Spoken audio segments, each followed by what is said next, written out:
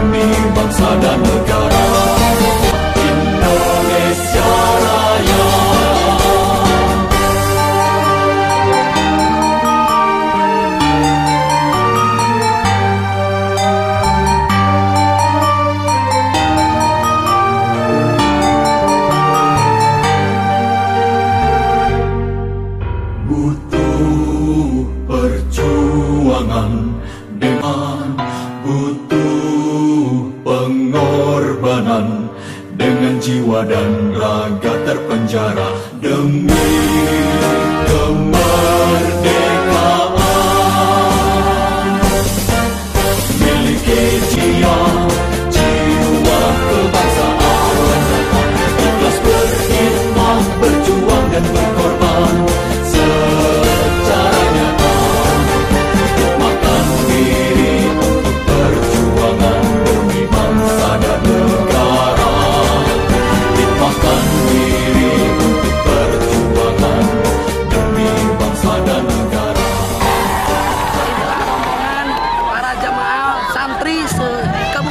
Kamis yang merayakan Hari Santri tanggal 22 Oktober tahun 2016. Dan insya Allah mudah-mudahan dari kelebihannya semua ini akan menjadi sebuah keberkahan yang melebihi atas apa yang telah dikenakan kita semua. Mujahid dan mujahidah yang terus berjuang demi NKRI. Dia tidak memandang apa keringat yang keluar, dia tidak memandang apa juga yang telah dikorbankan, tapi dia ingin kemerdekaan, ingin dan ketabahan buat mereka. harus lebih dengan acara adanya acara santri harus lebih di disigukan lagi di apa ya namanya di diperbaiki lagi terus biar acara santri lebih wah untuk ke depannya gitu. Apakah ada kegiatan-kegiatan setelah kegiatan ini? Eh, mudah-mudahan waktunya eh, sampai nanti sampai hari sampai asar. Set- setelah eh, jalan santai habis eh, nanti ke kumpul-kumpul lagi di alun-alun ada acara kreasi-kreasi santri Kreasi santri. Iya. Seperti apakah kreasi santri itu? seperti marawis, solawatan, ya gitu.